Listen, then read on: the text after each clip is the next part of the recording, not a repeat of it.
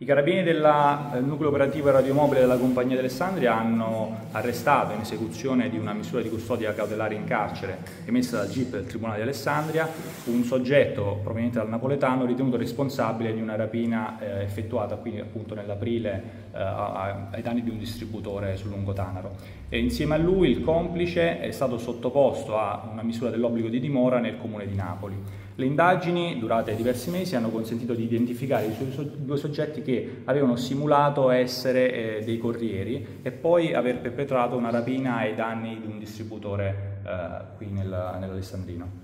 E come si è trattato di una vera caccia all'uomo perché vi siete spostati? La difficoltà nelle indagini è stata quella appunto di eh, trovare eh, i due soggetti perché si muovevano continuamente sul territorio nazionale e quindi non sono stati rintracciati nel napoletano dove risiedevano, ma il, le, le, catture e quindi le indagini per eh, riuscire a fermarli sono durate diversi mesi.